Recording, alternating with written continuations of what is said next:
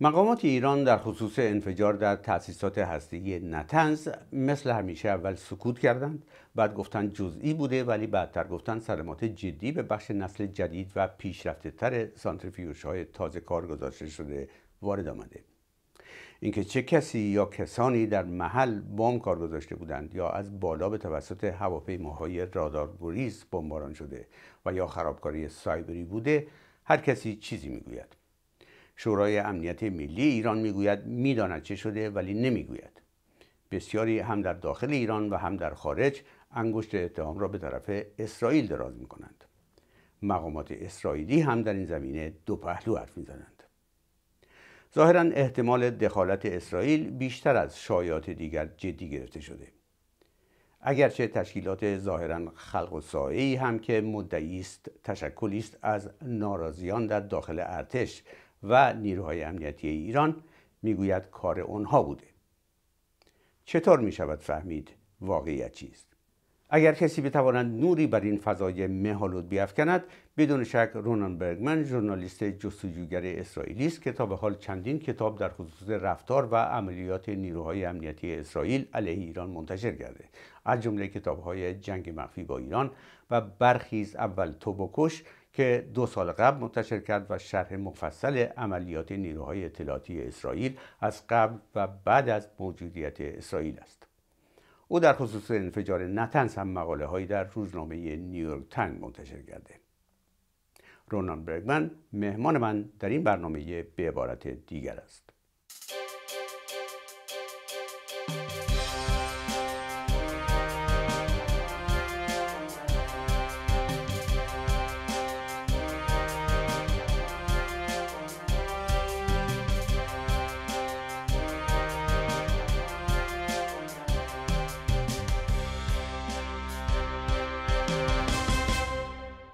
Ronen Bergman, uh, good to have you again in the program, and welcome to Be Ebarate Digar. Thank you for the invite.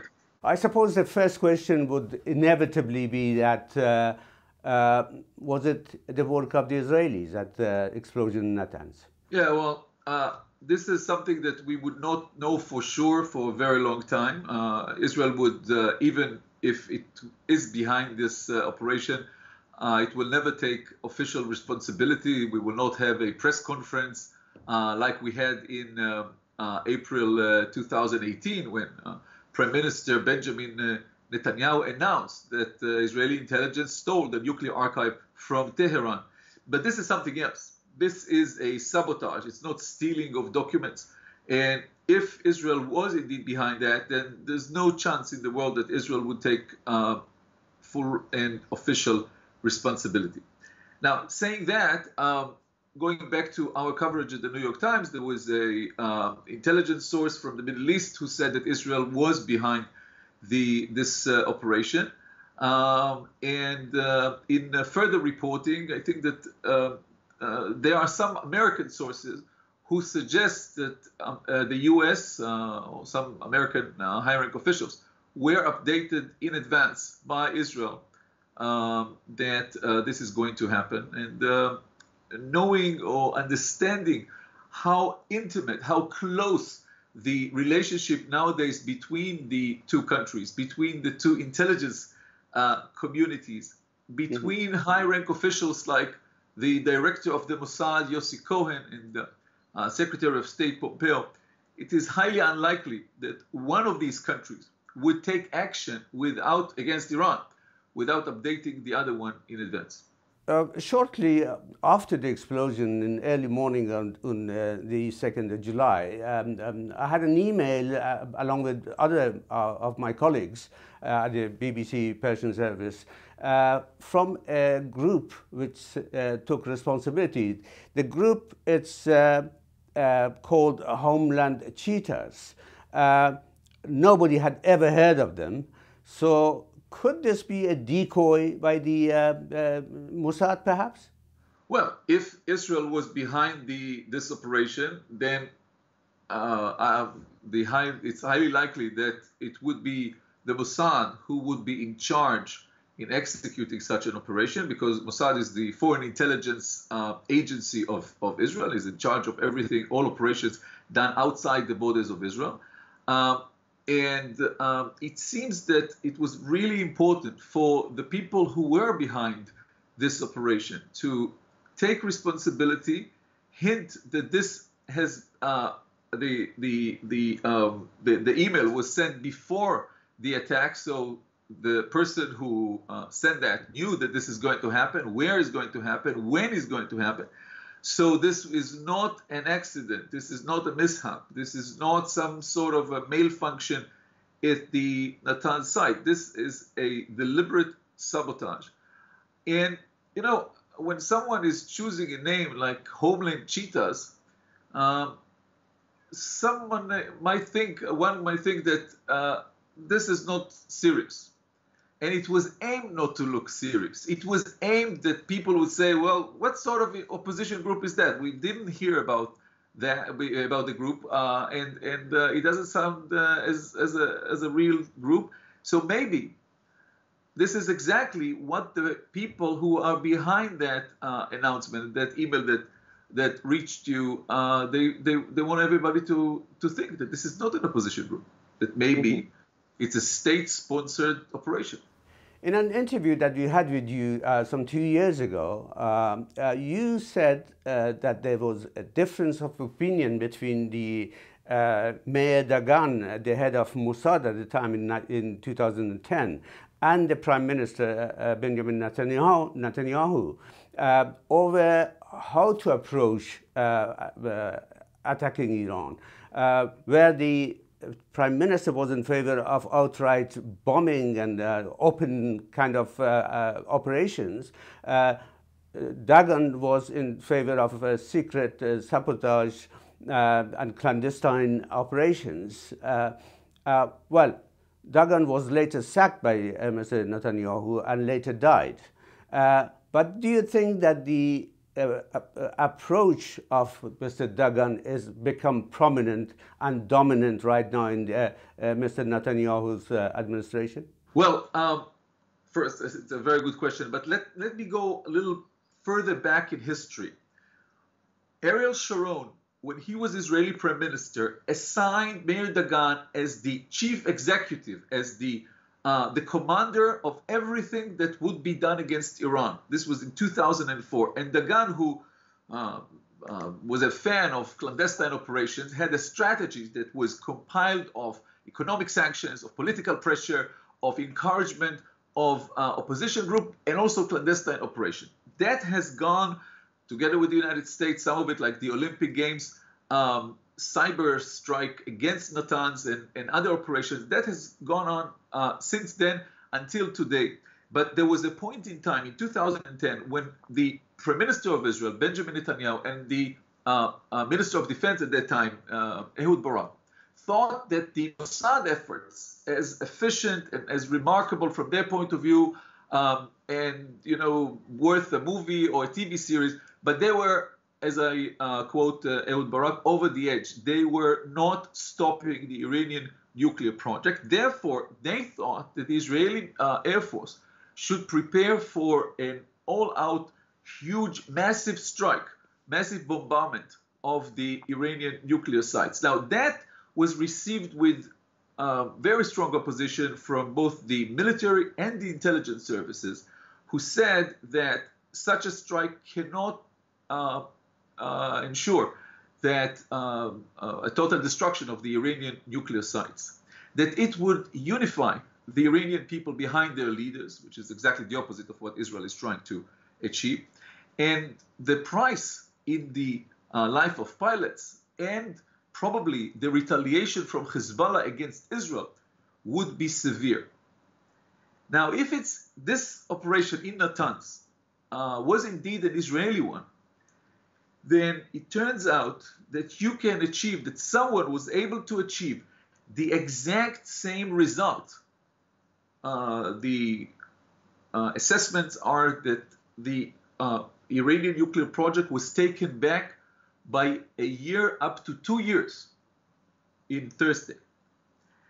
And so someone was able to uh, execute clandestine operation without sending any air force, without ta taking uh, uh, significant risks, and reach exactly the same result. Whoever was behind the, the, the attack on uh, the, the blast on Thursday, this is a demonstration of, I would say, um, very, very high, nothing less than exquisite uh, capabilities, both in intelligence collection and operations way beyond enemy lines. Right. Okay, um, um, there are some um, analysis which um, uh, points to three factors that they say that uh, it's um, uh, prompted the Israelis to take advantage of the situation at the moment uh, and, and do this sabotage. I mean, they basically uh, in support of Israeli being behind it. They say that the uh, First of all, the Israel may lose their stone supporter in the uh, White House. That, that is, in the next, election, they may not uh, have Mr. Trump. Uh, secondly, they say the uh, arms embargo against Iran may end uh, soon. Um, so the capability of defense, uh, defending the nuclear installation probably will be improved by Iranians. And the thirdly is that the Iran's, Iran's economy is pretty bad shape at the moment, and probably they take the, uh, their moment, uh, the Israelis. Do you agree with this analysis? Well, partly. I think that uh, the Israelis do look and possibly make some calculations what would happen if uh, President Trump is re-elected in November, and what would happen if he loses and uh, Mr. Biden will be president from uh, January and is expected to maybe renew the negotiation with Iran to reform some sort of the JCPOA. Uh, and therefore, if Israel uh, and Israeli policy has been that since uh, 2017, if Israel is counting on a support, on uh, let's say cross the board support from the Trump administration to exercise more aggressive uh, steps against Iran, then the time frame is from now until uh, until January. Um, I just want to add that if it was indeed Israel, this is not an operation that it's done uh, from uh, day of planning and then execution. Uh, it, it, takes months, if not years. And so I wouldn't connect this operation directly with things that are happening just now. Um, I would see this, um, if it's if it was indeed Israel, as part of an overall strategy uh, that uh, it, I would say adopt what Meir Dagan was doing 10 years ago and redeploy that with much more sophisticated means. Right. Um, the Iran's uh, National Security Council um, seems to have acknowledged that uh, what happened in Natanz was a sabotage. Uh, it says it knows what happened, but he, he wouldn't tell the public uh, at the moment. What this is, statement by the National Security Council tells you? It tells me that they are uh, keen uh, to make sure that the public in Iran wouldn't know what's uh, what hit the the most important nuclear site and hit that site in the most important part uh, a part in the say change of production of central and, and installment of centrifuges with which without which uh, the whole chain is is breaking.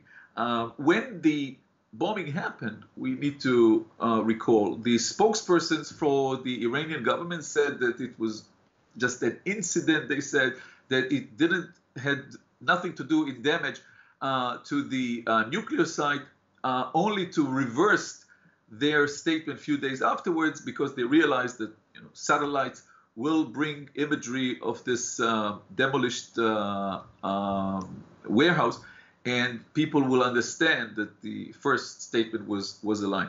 I think that they are keen for the people not to know that again the most uh, one of the most guarded facilities in Iran was penetrated by someone, and that someone again was able to sabotage the Iranian nuclear project in the same place where someone, uh, America and Israel, in an operation called Olympic Games 10 years ago, was able to do the same. Right. Um, does it also tell you that the Iranians have realized that they uh, they probably suspect that it could be the work of Mossad? Well, I know that there was some uh, off the record uh, for attribution uh, conversation that uh, my uh, colleague uh, um, Farnaz Fassihi from the New York Times had with her sources, her very good sources in Iran, identifying a view at the IRGC, the Revolutionary Guard, that it is Israel who is behind this this operation, and the purpose was to destabilize the um, the regime and uh, destabilize the um, confidence of the people that the regime is in control. So, with uh, this sort of knowledge that you have uh, from Mossad and uh, and the work that you've done um, over the years and the contact that you have, uh, what's your gut feeling? Do you think it is actually Mossad? Um, you know, gut feeling is not uh, something I'm uh, I'm sharing usually because uh, we are talking about facts, uh, and the facts are as we presented them in the uh, last story that we published in the New York Times, and tomorrow there's going to be another story uh, where again sources say that they have been updated, if not involved in the operation, and it was uh, Israel. And as I said at the beginning, uh, an indication, a hint from American sources that the U.S. was updated, if not more, uh, about this operation before it happened. Right. Uh, do you think this is a kind of operation that uh, is going to happen again and uh, some sort of a, a strategy that adopted perhaps by the Mossad and the, and the CIA?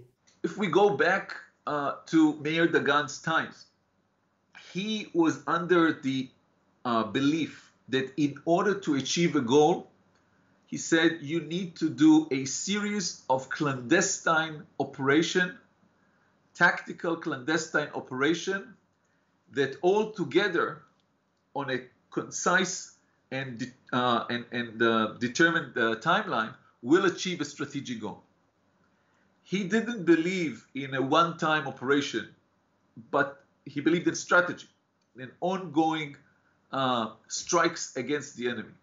And so, if we look at what he said, then this is part of the strategy of, uh, of Mossad for many years.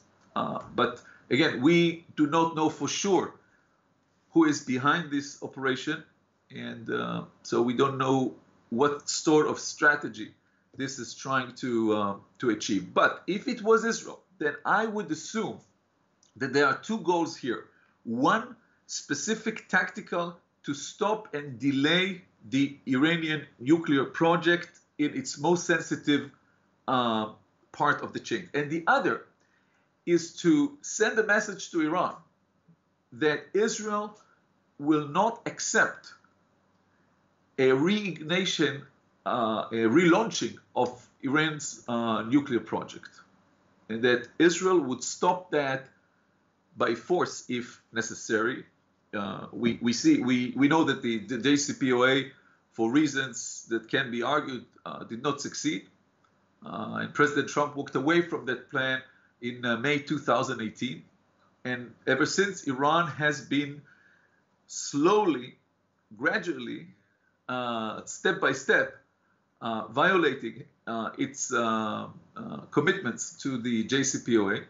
And if it's Israel behind what happened in Natanz, which is a very, very, very dramatic um, event, then Israel is trying to signal Iran we would not accept a further violation of the JCPOA. Everybody is talking about the um, escalation of the tension between Iran and Israel. Is it is there any possibility that uh, it may develop into something more serious, like uh, open confrontation or perhaps military uh, confrontation between the two countries? I, I, don't think that there is a chance that there, you know, they are not neighboring countries. There are many, many uh, hundreds of kilometers between Iran and Israel. So I don't see a, a classic battleground with tanks and airplanes. Um, and would the situation develop into war? I think it has already developed into war long ago.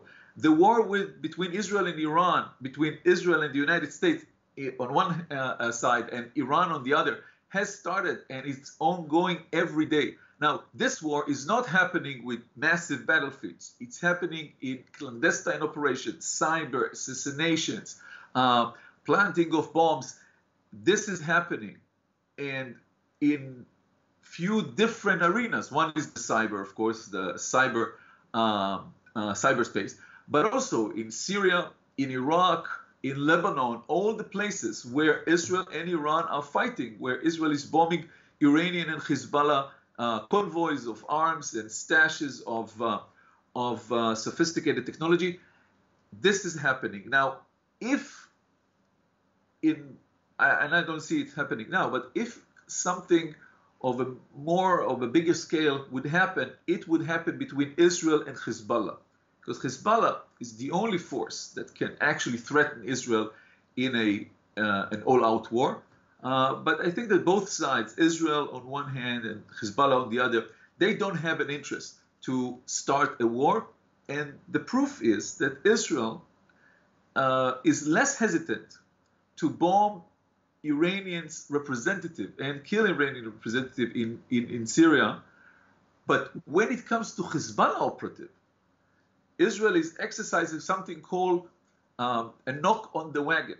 Uh, if a Hezbollah operative is driving his car, then a first missile is uh, bombing or exploding by the car. The operative knows that he has few minutes to leave the car. He stopped the, the car by the by the mainway. He uh, takes his stuff and he goes and he's not killed. So Israel is really, really hesitant and really cautious not to kill Hezbollah operative, not to deteriorate the uh, the area, the region into war. In your book, The Rise and Kill First, uh, you seem to be um, sure that the uh, Iranian nuclear scientists were killed by the uh, Israelis. What evidence do you have on that one?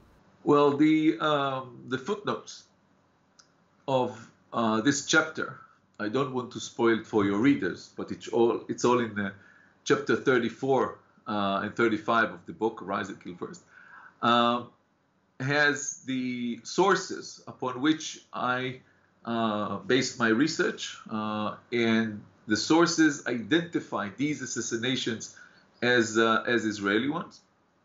By the way, the Iranians, the Revolutionary Guards, and others have also said that it was Israel and even caught at least one person who confessed uh, and gave a detailed description of how he uh, flew to Tel Aviv and got training from Mossad, uh, and later uh, assassinated uh, one of the one of the, the scientists. Now, of course, the fact that someone is giving a testimony and a confession, uh, maybe under torture, doesn't mean this is not a proof. But I would say that the overall uh, research that I have I have done, it took me eight years to write Rise and Kill First. The research that I have done indicates very strongly that it, it was Israel. I once uh, had an interview for the book. Uh, sorry. Sorry. I once had an interview for the book with uh, Michael Hayden, the uh, chief of the NSA and then the CIA, probably one of the most important figures in the history of American intelligence the last few decades.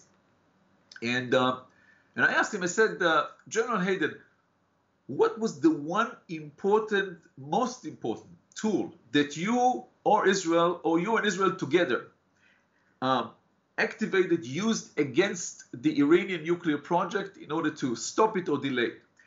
And he didn't hesitate. He said, Ronen, the one most important tool, the most important weapon was the fact that someone was starting to kill their scientists in the streets. And I sort of smiled to the word of someone. He said, Ronen, don't smile. The Israelis never told us that it was them. But of course, we figured out that if we discuss the uh, the names and the personalities and the duties of the senior scientists in the uh, Iranian uh, nuclear project with the Israelis, and a few weeks later, some of these people dropped dead, we figured out who is uh, behind that. And I asked him, so why is that? Why was that so so important? And he said he recalled that meeting of the national, the first meeting of the National Security Council with the new president Barack Obama in uh, 2009, where President Obama asked him, the chief of the CIA, he said, General Hayden, could you please tell me how much enriched uranium is there in Natanz? Natanz, the same facility that was attacked on uh, Thursday. And to which Michael Hayden said, Mr. President, you know, I actually have the, the statistics, have the numbers. I know the answer to your question, but let me tell you, this is not important. There is no one single electron that would be produced in Natanz that would end in a nuclear bomb. What they're doing in Natanz is not producing nuclear bombs. What they're doing in Natanz is producing knowledge. Mm-hmm. And there's only one way with which you can kill knowledge. You, you um, pointed um, to the uh, people who confessed in, uh, in Iran uh, for being the agent of Mossad. Uh, can I just uh, uh, clear this that I interviewed one of them and, and he was basically put under torture um, to confess to these sort of things, which the later the authority acknowledged that uh, he was wrongly accused and uh, that was wrong basically and they apologized even to him. Okay uh, let's stay with your book the uh, rise and kill first. Uh, you uh, say that you have interviewed a thousand people to, to write that book and you did a thorough research and, and many of them amongst the intelligence services why they would talk to you. I mean, they, they put their life in, da in danger and, and talk to you and reveal things that are uh, supposed to be secret? Well, you know, this is the, the first question when uh, that I was asked when I submitted the draft to uh, Random House New York, Penguin Random House, the publisher of the book. Uh, when they asked me to sign the contract for the book, uh, they asked me how long will it take, and I said it's going to take me a year.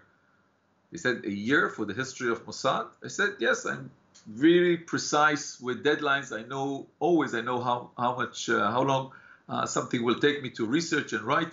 They said, uh, why don't we write a year and a half in the contract, just you know, to be on the safe side. Sorry. And they said, well, you can write whatever you like. It's going to take me a year. And they didn't listen, and they write. They wrote a year and a half, and after that, I was six years delayed. And the reason was that I started from scratch. I disregarded everything that was written on Israeli intelligence that far, and I started to interview any, uh, everybody I could and it ended up with uh, a list of 1,000 interviews and uh, interviews. And when I submitted the manuscript, they asked me the same question that you're asking now: How come all of them spoke, many of them, most of them, on the record of this, um, you know, really, really secret uh, material? And I said, look, it's uh, each interview has his own or her own story and the way I was able to get and convince him or her to, to speak. But if there is common ground, then I think it's the these people, the operatives, the intelligence uh, uh, officers, the expert, the cyber technology um, uh, striking groups, all of them, I think after so many years in the twilight zone of secrecy, in the darkness. They wanted people to know, the people of Israel and the people of the world, I'm just the pipeline, to know what they have done in order to keep Israel safe and national security safe. And, you know, some of them said, I'm telling you things that I didn't tell my wife because they wanted people to know. And, you know, as it goes, sometimes uh, when someone was not that uh, enthusiastic to talk, I, uh, I did to, uh, used uh, to him or to her, the one thing that makes Israelis more angry, more ballistic, more furious than anything else. I told him that someone else took credit for his operation. This usually solved the problem. Uh, the Israelis, uh, there's a word, there's a word in Hebrew uh, called sucker, fire. The, is the, the, the, the highest level of, of being a sucker. That's the, the one thing that Israelis hate to be. And if you tell them that someone else took credit for the operation, they say, he said that he was in uh, way beyond enemy lines in that risky operation. Now I will tell you the truth. Right. I, mean, I thought there could be uh, some sort of, uh, uh they feel uh, uh, it's on their conscience because they have killed people and in many occasions they've killed innocent people. You say that, you say yourself that the Israel has actually killed more people in clandestine uh, operation than any other country. Uh, could that be because they have asked to do something that uh, they didn't like? Not at all. One of the the questions I asked all of my interviews: Do you have regrets? Do you have second thoughts? Were you forced to do something? And I must say that in the vast majority, with maybe three or four exceptions, I uh, received the same answer, which is no regrets. Even in retrospect, we believe that we did the right thing.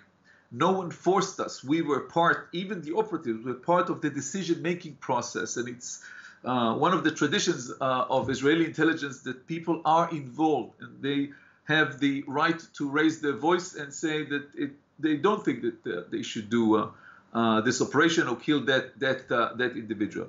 The use of targeted killing is problematic. you know, it creates two questions: Is it legal and is it morally and, and legally just morally? Is it legally and morally justified and is it effective? Um, but when you ask those people about the, the, the morality, they quote that phrase from the Babylonian Talmud. Whoever comes to kill you, rise up and kill him first. Which is also the source for the, the book's name, Rise and Kill First. These people, and I'm not judging that to be right or wrong, but these people believed that when national security is at stake, when the country cannot fight um, in you know legal ways, uh, in the sense of uh, arresting people, then sometimes when you fight terrorists, when you fight proliferation of uh, of nuclear and unconventional warfare, sometimes you have no other choice.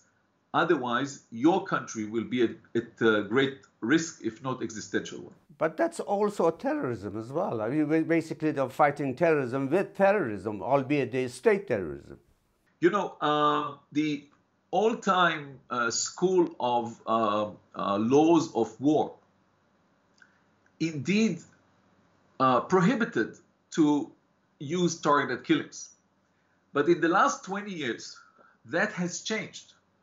And um, nowadays, even human rights organizations uh, and jurists dealing with international law all accept the principle that a country is entitled to kill what they call a non uh, or illegal combatant, so terrorists, and that the law, the international law, permit to kill a terrorist not just when he is carrying the bomb, so taking bomb in his hand, but also if he went to sleep at night and that he does not cease to be an illegal combatant even when he goes to, to sleep. If it was a soldier, a soldier, a soldier going home, take off his uniform, going to sleep, killing him is a war crime. But nowadays, if a terrorist, um, who doesn't have uniform, of course, he continues to be a terrorist as long as he is part of the chain of execution of uh, terrorist acts. And it is uh, considered to be in most countries by most organizations, by most jurists, uh, it's uh, uh, considered to be legal to do that. Now, of course, it, it, raises all many, many other questions of when are you entitled to, when a country is entitled to do that. Is is there a a reasonable option to arrest and bring that person to justice? Uh, what are uh, the people in the infrastructure of a terrorist organization right. who are uh, it, uh, who are, it, is it legal to, to kill them and who are not? It's many, many questions. And of course, the, the most important question, the most, the most important difficulty or, or, or, or problem uh, is what do you do? What an intelligence officer, what a decision making process, um, uh, where does it lead when they know when the the, uh, the the the force who is going to execute the targeted killing when they know that there might be civilians around, so collateral damage. Do right. you allow mm-hmm. any kind of risking of of um, of other of civilians? And during uh, President Obama, it was decided, at least in the United States, that if there's any risk to civilians, then there's no go. Right, uh, Ronen, we're almost out of time, uh, but uh, I have a couple of more questions. If you give me a short answer, I appreciate. Um, uh, how come the Israelis, in many cases, even when the agents are identified, like the case in in Dubai hotel when in 2010 when they killed a Hamas official, they can get away with it? Well, the the operatives in uh, the operation to kill uh, Mahmoud al-Mabhouh, a Hamas operative in Dubai in 2010, the operatives were identified by their forged passports and their photograph. Uh, but in spite of the fact that the Dubai government and police issued uh, international Interpol arrest warrants, uh, no one of them was was ever ever caught. And you you know you can imagine that uh, the so Mossad. Took, what I what I uh, mean, Ronen, what I mean, Ronen, is how come Israel get away with it, not just individual? Well, it goes back to the same question that you asked me before. Uh, do you define uh, killing a Hamas operative who was involved, uh, according to his own testimony, in the killing of Israeli uh, civilians and, and, and soldiers. Uh, an operative that you cannot arrest and bring to justice, which is always preferred. Uh, if you call killing him a terrorist act, then of course you can uh, follow the other questions of how come Israel is getting away with it. But if you uh, see this as a as a, a, legal act, an act of a country uh, trying to balance between values of life and the need to defend uh, its citizens and national security and values of democracy, and from time to time uh, reaching a a decision that um, the, the, the, the best way, if not the only one, is to use targeted killing, then you come from a different point of view. I'm not making a judgment again. I'm just trying to explain the, the situation, and I think that it's uh, uh, it's it's uh, a, a very tricky comparison to uh, uh, make a, an identification or, or, or, make a parallel line between killing a terrorist and um, a terrorist act against civilians. Right. Um, and the last question would be, um, why are you doing it? I mean, why, why you all these investigation into revealing uh, the secrets of your country? Uh, you may be called a, a, traitor. Yeah, well, I've been called many, many, uh, many things. I'm doing it, I think, because of three reasons. One, because intelligence and special and clandestine operations are just really, really interesting. You know, everywhere I go, once I start to speak about the Mossad, you know, the, the Israeli Jewish James Bond, you see people's eyes blink and shine because people want to know how this world really um, is really built and how things are really happening. James Bond, the real, the real story, or Ocean Eleven, uh, the real story. The second reason is that I believe that you cannot have a correct reading of the history of Israel and the Middle East without having a correct reading of the history of it, its intelligence services, because everything that happened on national security, foreign relations, um, military operations, everything was done with the participation of Israeli intelligence and a profound impact of that on the decision making process, on history.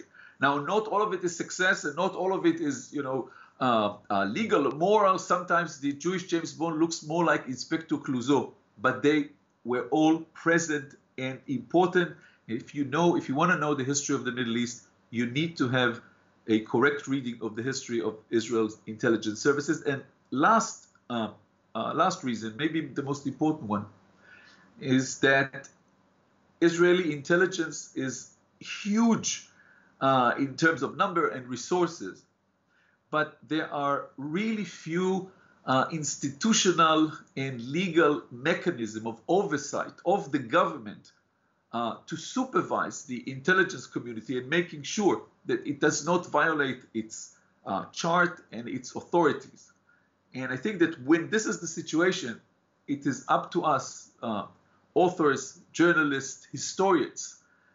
It's not just up to us, it's our obligation, maybe even sacred uh, obligation to take that role and be the ones who make sure that the intelligence services, while uh, doing a lot in order to keep Israel safe and Israeli citizens safe, will also follow the laws of the country and values of democracy. Thank you very much, uh, uh, Ronen Bergman, uh, for being my guest. Thank you. Thank you. Thank you so much for the invite.